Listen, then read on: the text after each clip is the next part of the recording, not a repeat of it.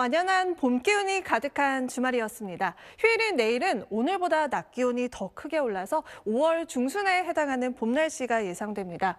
서울이 23도, 강릉 24도, 경주 26도로 오늘보다 3에서 5도가량이 더 올라 낮에는 다소 덥게 느껴지겠습니다. 그만큼 일교차는 더 크게 벌어지니까요. 건강 관리 잘 해주셔야겠습니다. 내일은 대기도 정체되면서 수도권과 충청, 부산과 울산은 일평균 대기질 나쁨 수준이 예상되고요. 그 밖에 중서부와 전북 지역도 한때 나쁨 수준을 보이겠습니다. 날이 맑아서 수도권과 강원도는 대기도 건조합니다. 산불 사고 조심하셔야겠습니다.